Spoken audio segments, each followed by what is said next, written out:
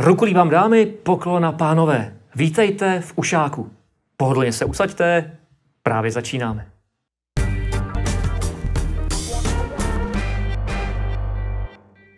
Ten respekt, co jsem si vybral v Evropě, tak tam jsem začínal od nuly a člověk vlastně se musí i přizpůsobovat tomu stylu basketbalu, který se v Americe hraje. První rok byl trápení, ale zápasy, který jsem třeba odehrál, a neodehrál jsem je úplně špatně a fanoušci viděli, co do, to, do té hry uh, můžu přinést. A jakoby stáli za mnou. Ušák rovná se kromě jiného taky domácí úkol, tedy krátké video z ruky hosta, jenž si za chviličku do Ušáku sedne. Ahoj všem. Jelikož mi byl zadán domácí úkol a já ho dělám klasicky na poslední chvíli, rozhodl jsem se, že vám ukážu činnost, kterou dělám poslední dobou nejvíc a tím je ježdění kočárkem a uspání mojí dcery.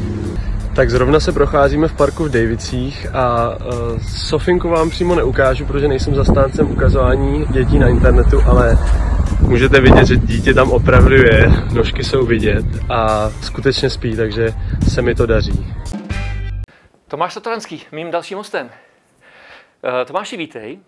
Uh, viděli jsme v domácím úkolu, že ty teď kroutíš hodně zajímavou sportovní disciplínu, ale musím říct, že spousta čerstvých rodičů je takových uštvaných, strhaných, nervózních. Nepřijdeš mi tak? Tak ahoj, děkuji za pozvání. Já myslím, že bychom se museli podívat na moji druhou polovičku a potom bychom pochopili, že to není jednoduchý.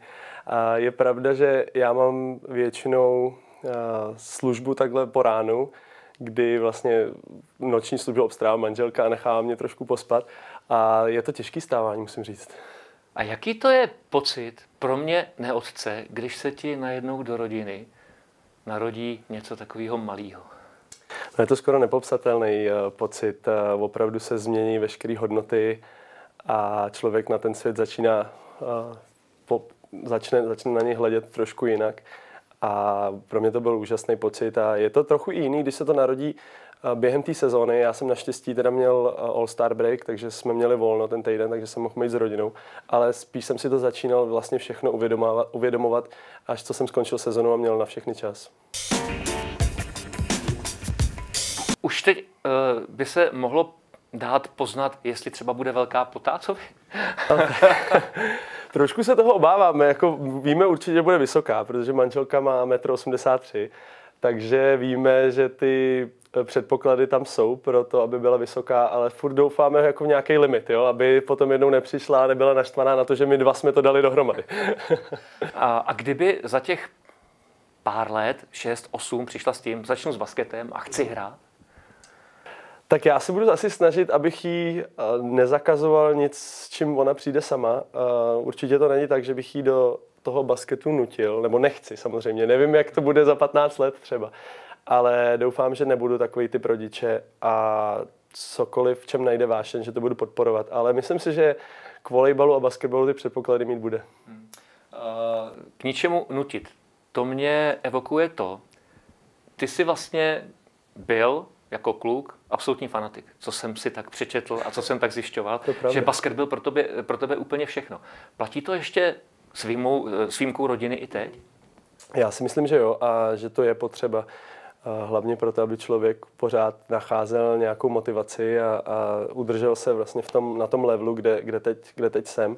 A určitě mi to pomáhalo jít si za tím svým snem, protože já jsem si od raného dětství, nebo jak jsem začínal basket, tak jsem si prostě řekl, NBA je můj sen, je to něco, nějakou metu, kterou chci do, dosáhnout a všichni vlastně si trošku, ne, že by si dělali legraci, ale říkali, no jo, ten jako fantazíruje a tak, ale já jsem to myslel opravdu vážně a asi mi to pomohlo.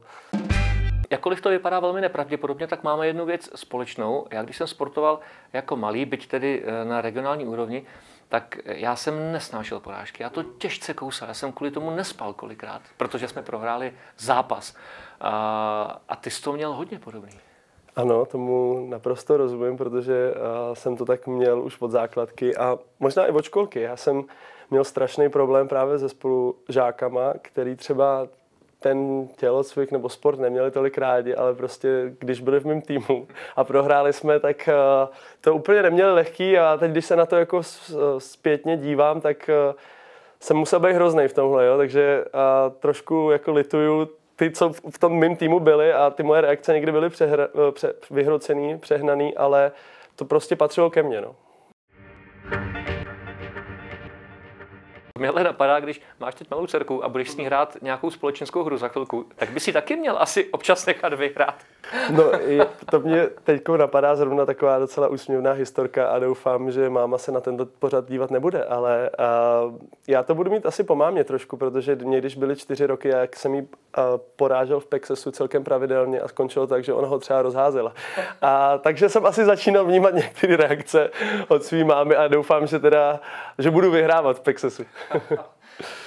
už jsme se dotkli NBA, což byl vrchol, sen Teď ještě v tuhle chvilku předpokládám úplně nevíš, jak budeš pokračovat, respektive kde, protože tobě dobíhá kontrakt a pokud jsem dobře informován, tak jednat se může o nových až poté, co skončí NBA, tedy dohraje se finále a teprve potom se bude mluvit. Takže upřednostňuješ zůstat ve Washingtonu nebo si otevřen i nabídkám odinut? Myslím si, že jsem otevřený veškerým nabídkám, co přijdou. Uh ani se nebráním tomu, abych zůstal ve Washingtonu, protože přece jenom jsem tam hrál tři roky, cítím se tam eh, pohodlně, jak ve městě, tak v, v té organizaci klubu. A eh, naše největší hvězda, která hraje s, s na mojí pozici, se zranil na další rok, takže nějaký ty možnosti se otvírají pro mě. Ale bude se to opravdu řešit až v červenci, protože ty regule NBA jsou takhle daný a opravdu říkám, nejsem eh, asi uzavřený ničemu. Ty máš za sebou několik životních skoků. Ten první uh, velký přišel ve chvíli, kdy jsi 17. odcházel do Sevy. A, a sám popisuješ tenhle krok, že byl vlastně velmi dobrý, že si nešel tou cestou hned do jednoho z největších klubů, protože Barcelona i Madrid měli zájem. A byl to velký náraz, tenhle přechod? No, určitě. Jako, to byl jeden z největších nárazů podle mě v mojí určitě mý kariéře, ale i v životě, protože uh, se mi najednou trošku zhroutil svět, co, ve kterém jsem žil, protože jsem a si opravdu myslel, že jsem e, jako jeden z největších talentů, že nemám konkurenci. Nedával jsem to najevo, ale podvědomě jsem si to třeba myslel a bylo to jeden z nejlepších kroků, protože jsem si opravdu uvědomil, kolik práce mám ještě před sebou a najednou jsem byl hozený, řekněme, do nejlepší ligy v Evropě a úplně jsem viděl ty nedostatky a jelikož jsem hodně soutěživý, o čem jsme se už bavili, tak jsem prostě měl takovou tu motivaci, že se těm hráčům musím vyrovnat a byl to určitě pozitivní, jeden z nejpozitivnějších a nejdůležitějších kroků, co jsem udělal. Španělé opravdu, ne, kort na jihu, jo. když jsem šel na ty Sevy, tak a tam ta španělština je jak rychlá a anglicky se moc nedomluvíte. Ale to mi taky pomohlo, dá se říct, protože jsem se musel naučit španělsky a teď jsem strašně rád, že umím eh, dva cizí jazyky. No zvlášť v Americe se to hodí. Ano, samozřejmě, tak tam je tam spousta eh, španělsky mluvících eh, lidí nebo hispánců taky a pomáhá to na všech frontách a myslím si, že to mi i pomohlo trošku se začlenit do toho týmu víc, protože viděli, že poslouchám pokyny trenéra španělsky a už rovnou reaguju na to a to byl, to byl taky důležitý krok. My jsme tady zvyklí pracovat přes den a chodit spát v 10, v 11. No jo, a Sevilla to je jiný svět. No je to tak, ale člověk si hodně rychle zvykne, takže potom má problém právě se do tohohle našeho světa vrátit. Ale je pravda to, že když člověk něco potřebuje a zavolá opraváře v pondělí, tak e, mnohdy se ne, objeví až do toho dalšího pondělí a opravdu člověk si na tyhle všechny věci musí zvykat. Ale tahle ta maňána a siestička, to tam opravdu fungovalo i kvůli tomu vedru a jak říkám, člověk se hrozně rychle na to zvykne. A jak funguje tělo? Protože najednou chodí spát ve dvě, v půl třetí, protože na večeři se jde v deset večer, přes den se zas tak moc nežije.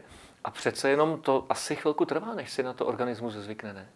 Řekl bych, že chviličku jo, ale já jsem teda ten zrovna eh, program denní tu první sezonu měl hodně nabitý, protože jednak jsem se učil skoro každý den dvě hodiny španělštinu a měl jsem dva tréninky, jak s týmem A, tak s týmem juniorů. A spíš jsem chodíval spát uh, úplně zničený, takže asi postupem času, třeba ten druhý rok jsem si začal trochu víc zvykat a je to i asi daný tím, že se trénuje později, že většina těch tréninků, když je teda jenom jeden za ten den, tak je ve 12 hodin. Když si člověk čte to je kurikulum víte, tak ho možná trošku zarazí to, že v roce 2012 jsi byl draftovaný Washingtonem, už si tě vybrali, ale rozhodl jsi se pro Barcelonu. Ještě jsi se necítil na to, aby si přiletěl oceán? To ne, já jsem, já jsem chtěl jít do NBA rovnou. A NBA tým nebo Washington Wizards se rozhodli, že mě nechají v Evropě ještě třeba na dva roky, abych se postupně zlepšoval a, a, a že mě budou dál sledovat. A mysleli si, že to je dobrý mezikrok. No a já jsem vlastně po dvou letech, co jsem dokončil svoji kariéru v Sevě, měl nabídku jít do Barcelony. A jsem zrovna člověk, který jako o věcech přemýšlí a připadalo mi to docela logický. Ten meziskok v té Barceloně, kde, která hrála Euroligu, což byla taky premiéra pro mě a byl to zase vyšší basketbal a trochu více tlaku už i z pozice týmu a myslel jsem si, že by mi to mohlo pomoct. Většina lidí se spíš ptá, uh, viděl si hrát Messiho a tak, než na to, jako jak jsem tam hrál nebo tak, takže to bylo vtipný. Když tady seděl Filip Pícha, který taky hrál v Barceloně, a hrál tam úspěšně, tak eh, říkal, že na tohle město nedá dopustit. Já si taky myslím, že je to jedno z nejhezčích měst na světě. Máš to taky? Filipícha to má trošku jiný než já, protože já jsem tam šel, šel ze Sevy a on šel ze severu Německa z Kýlu, takže to byla velká, velká změna pro něj. A, ale ne, já se s Filipem Míchou znám velice dobře a my oba dva to město milujeme a hrozně rádi se tam vracíme. A je to prostě, taky ta mentalita je úplně, úplně jiná a, a je teda hodně turistická samozřejmě na rozdíl od Sevy, ale člověk tam má hrozně moc možností a ty, ty lidi jsou opravdu střícní. A když jsme mluvili o Washingtonu, tak poprvé se ti asi všimli na, na kempu, který se absolvoval někdy v 16 letech. To bylo v Itálii, v Trevisu, mám pocit. A co se tak honí mladému klukovi hlavou, když ví, že jako desítky a desítky dalších se jede ukázat na tenhle kemp a teď zároveň musí být vidět, že to fakt umí a že je dobré. No byla to strašně zajímavá zkušenost pro mě. Já jsem byl spíš zaskočený těma jménama těch mých spoluhráčů na tom kempu, protože jestli se nepletu, tak jsem byl ten nej, nejmladší uh, účastník a najednou jsem viděl, že vlastně kolem celého hřiště jsou skauti z, celého, z celé NBA, ze všech týmů a, a je zajímavé, že jsem nebyl moc nervózní, prostě, protože jsem si říkal, že nemám co ztratit, ale spíš jsem si všímal těch spoluhráčů a opravdu shodou okolností se mi ten kemp strašně povedl a myslím si, že to bylo daný tím, jaký konkurence jsem byl, že si mě hodně týmů všiml. V NBA to taky funguje trošku asi jinak než v některých dalších profesionálních sportech, jako je třeba fotbal, že vy se můžete po sezóně sebrat, když hrajete v Evropě a jezdit ty takzvané workouty od města k městu, mm-hmm. že se předvedete v několika týmech. Eh, já jsem si říkal, když jsem si to tak pročítal, že to musí být eh, hodně únavné, možná ani ne tak na tělo jako na hlavu. Jo, je to, je to náročný určitě. Tohle je opravdu tohle, co říkáš, to platí prostě před tím draftem, než si tě ten určitý tým vybere. Já jsem absolvoval asi 10 workoutů, eh, kde opravdu ten denní režim vypadá dost podobně. Člověk přejde někdy večer, v ráno už jde na snídani a pak jde si promluvit s tím, s tím vedením toho týmu, dělají se různé psychické testy, pak fyzické testy, pak se jde hrát na ten, na ten trénink a takhle to jde furt dokola a myslím si, že pro třeba některý hráči, kteří obsluhují takových workoutů 20, to musí být strašně náročný a přesně souhlasím tím, že spíš psychicky, protože je tam strašně moc tlaku a, a vlastně člověk furt myslí, no, přemýšlí nad tím, kdyby se mu to nepovedlo, co bude dál. Když se potom tedy podařilo, že si eh, z Barcelony, kde se ti dařilo, a přešel eh, konečně do Washingtonu, eh, věděli o tobě trenéři a manažeři klubu úplně všechno? Tím se ptám, jestli taky jezdí třeba se koukat na tvoje zápasy? No, ne, vždycky to tak funguje. Zrovna u nás v týmu byl ten trenér nový, který přišel ve stejnou sezonu jako já a myslím si, že mě právě moc neznal a s evropským basketbalem taky neměl moc zkušeností tím si myslím, že to bylo pro mě náročnější, ta, ta první sezona, protože uh, jednak jsme tam byli dva Evropani, z toho jeden Polák, Marcin Gorta, který už tam hrál prakticky 10 let, takže spíš Američan než Evropan. A já jsem ho vlastně musel přesvědčit o tom, že tam, odkud pocházím, tak celý basket taky hraje. Máme a na velice koše. dobré úrovni, ano. Přesně. A výška košu je stejná. Muselo to být ale trošičku srovnatelné s tím, když jsi šel do Sevy. Taky to musela být zeď, do který člověk narazí. Jo, taky jsem, jsem si to někdy nebo dost často spojoval, že je to dost podobný, ale na rozdíl, ještě na rozdíl od toho, když já jsem šel e, do Sevy, tak když jsem šel z Barcelony do NBA, tak jsem vlastně už nějaký to jméno v Evropě měl a měl jsem spoustu zkušeností a byl jsem na takovém, já jsem si říkal, že jsem na tom e, levelu, na nějakým nejvyšším levelu, co jsem kdy hrál a že, proto jsem se i rozhodl do, do NBA, protože jsem si myslel, že ten věk je na to perfektní a proto mi to někdy trvalo, abych nebyl frustrovaný, protože jsem si říkal, že tady ztrácím prostě svůj nejlepší věk basketbalového života. První rok to bylo pokud to tak můžu říct, velké trápení.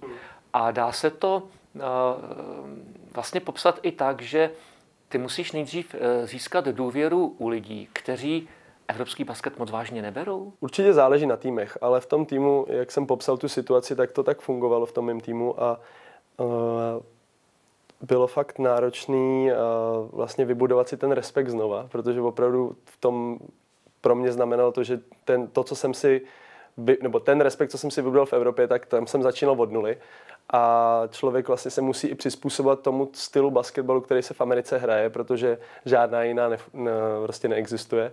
A, takže jsem vlastně asi už po třetí ve své kariéře začínal od nuly, ale já říkám vždycky lidem, že se dokážu dost rychle přizpůsobit a tahle ta vlastnost mě opravdu zachránila. V téhle sezóně si patřil už, eh, pokud to tak můžu říct, ke klíčovým hráčům. Odehrál jsem, myslím, že 50, třeba 5 v základu, ale odehrál jsem prakticky všechny, 80 zápasů, eh, jsem, k těm jsem nastoupil, ale vlastně NBA je všechna, celá ta kariéra NBA je dost často o těch příležitostí, co se co ten hráč dokáže využít. A to já vždycky říkám, že ty poslední dvě sezony se mi podařilo, že jsem byl ready eh, mentálně na to, že když se někdo zraní, tak přijde moje příležitost a já ji dokážu využít. A to už jsem měl vyzkoušený z té předchozí sezony a myslím si, že se mi to podařilo snad i tuhle. A je to v tom NBA o tom, no, že ten člověk musí mentálně zůstat silný a nesmí se z toho podělat. No, že ta sezona uh, vypadala dobře, o tom svědčí vlastně i osobní rekordy, co se týká nastřelených bodů, 25 bodů v zápase, triple-double, uh, kdo to může říct, že to se taky hned tak nepovede. Uh, a mám takový pocit, že tě úplně jinak taky začali brát fanoušci Wizards. Jo, já si myslím, že to mi pomohlo už i na začátku, protože já jsem to ten, jak jsme to říkali, to první rok byl trápení, ale zápasy, který jsem třeba odehrál a neodehrál jsem je úplně špatně a fanoušci věděli, co do, to, do té hry uh, můžu přinést. A jakoby stáli za mnou. A to samé platilo o uh, media guys. Teď mi vypadlo, jak to říct český novinářů. Právě tam to pomohlo i v tom druhém roce, protože mě trošku uh, prostě podporovali uh, z různých článků, na Twitteru mě psali a fanoušci mi tu podporu taky ukázali a myslím si, že i to mělo nějaký vliv na tu moji psychiku. A já jsem tam cítil už v té druhé sezóně takový ten uh, respekt i od těch mých spoluhráčů, což vždycky pomůže. Že jo? Když už vědějí vlastně, co já dokážu, co jsem si vybudoval během i, na, i našich tréninků nebo hry a vědějí, uh, že se mi s nima třeba, nebo že se jim se mnou bude hrát dobře, tak to mi pak pomohlo i k tomu, abych se třeba odprostil od nějakých věcí a soustředil se opravdu na svůj výkon. Když tam přijdete z Evropy a nemáte to jméno, tak uh, nejste moc využívaný v útoku naopak v obraně na, na vás každý útočí. Takže si připadáte nejenom jako blbec na jedné straně, ale jako blbec na druhé straně. Takže to se mi stávalo dost často, ale taky mě to ocelilo, si, si myslím. Když se koukám na NBA, tak to je většinou moc hezké pokoukání. Padá hodně bodů. Evropský basket 66, 64 to není úplně. Ne pro obrana. jako... a, ale platí uh, to, co se eh, tady Evropě o NBA říká, že ta základní část, ta se hraje na individuální výkony, na individuální hodnocení a teprve v playoff se potom hraje fakt na vítězství. No někdy tak může uh, vypadat, protože těch bodů tam padá opravdu hodně a někdy to i mi přijde, že ne všechny pozi- ty pozice, co ten tým má, hraje naplno. Já se snažím hrát vždycky naplno, protože přece jenom ta konkurence je obrovská a je to něco, co já třeba beru za svoji přednost a myslím, že i lidi kolem. Ale je pravda, že se říká, že v NBA prostě tu regular season vyhrává ta snaha po vítězství a tam ty týmy, který to mají nejvíc, tak většinou vyhrajou. Potom samozřejmě v playoff rozhodují ty individuální hvězdy a, a jejich výkony. Ty jsi měla na v pokojičku Michaela Jordana. Pořád je to pro tebe ta největší hvězda, kterou zrodil si do basketu? Největší hvězda ve sportu pro mě, ale samozřejmě to je daný mojima sympatiemi k basketbalu, ale určitě nejlepší hráč v historii basketbalu. Myslíš, že ho někdo dokáže, nechci říct napodobit, ale dosáhnout uh, takového renomé? Tak já si myslím, že někdo určitě bude v uh, budoucnu, kdo překoná ty jeho rekordy. Uh, víceméně vypadá to, že LeBron James ho překoná v počtu nastřílených bodů a, a ještě jiných, jiných statistik.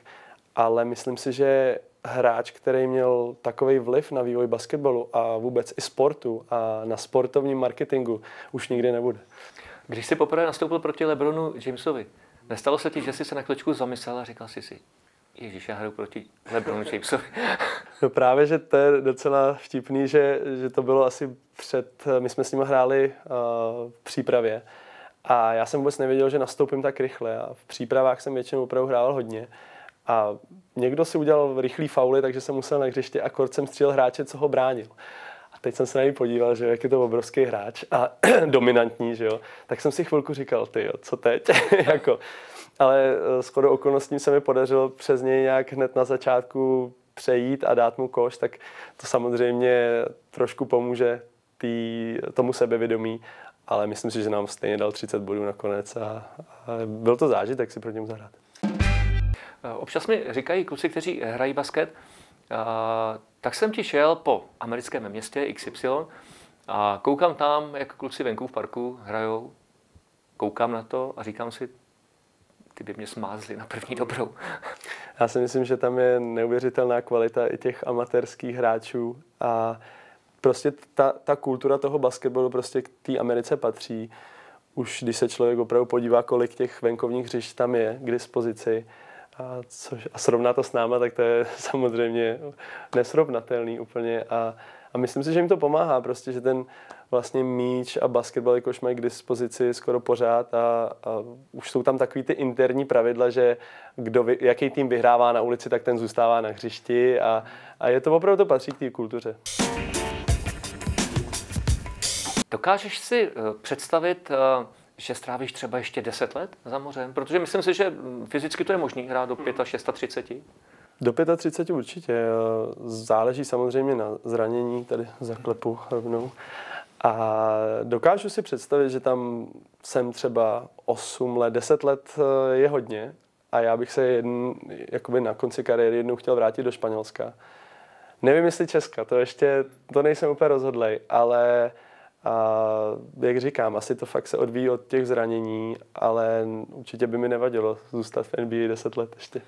Budeš mít jednu výhodu, když budeš mít vedle sebe paní, protože ona je dcerou známého odborníka na gastronomii, Pavla Maurera, tak si říkám, že vlastně u vás se asi jí velmi dobře a zdravě. ne vždycky zdravě, ne, ne, snažíme se, snažíme se jí zdravě, nebo hlavně já se snažím během sezóny. Manželka tají zdravě od jak živa ale já jsem trošku se vlastně přiženil do rodiny že, gastronomů, gastronautů, a, a, ale já jsem k tomu jídlu měl dobrý vztah i předtím a je pravda, že na, naší, ne, nebo naší náplní třeba cestování většinou ta gastronomie a hodně rádi chodíme do prostě dobrých restaurací nebo zajímavých restaurací. Tak schválně, co máš nejradši ze španělské kuchyně? Tak tam je to hodně. Já nedám dopustit na chamon, to prostě to je srdeční záležitost pro mě, ale různý ty ryby, mořské plody, to na jihu kort e, mají vynikající. A jedna věc, co mě třeba napadá, to nevím, jestli někdo bude znát, já to znám e, jako ze Španělska calsots. To jsou taková zelenina, která je velice typická pro Katalánsko a to, to je vynikající. Kdyby se náhodou stalo, že po letech, kdy skončíš s aktivní kariérou, přijde nabídka. A nechtěl bych si trénovat? Třeba český národák? No, já se trošku straním to, tomu nápadu, eh, že bych měl jednou trénovat, ale víc a víc lidí mi poslední dobou říká, že bych se k tomu fakt perfektně hodil a že i mám nějakou autoritu, což teda nevím, kde napadlo. No, koukaj na televizi, no. ale uh, myslím si, že to není nemožný. Nikdy neříkej nikde. Hodně hráčů jako historicky, co říkalo, že nebudou trénovat, tak tak skončí. Jo. Takže nechci říkat, že ne, ale zatím to neplánu. Tak já ti popřeju, ať se ti daří, eh, na co sáhneš, ať do koše padá všechno, co na něj hodíš a ať se hlavně daří i v soukromém životě, protože to je přece o klub důležitější Přesně než ta sportovní tak. kariéra. Já moc děkuji za pozvání. To byl Tomáš Satoranský.